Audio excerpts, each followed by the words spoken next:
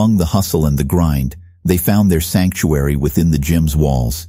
It was a place where excuses were left at the door and possibilities expanded with each rep. The gym was their refuge and strength was their reward.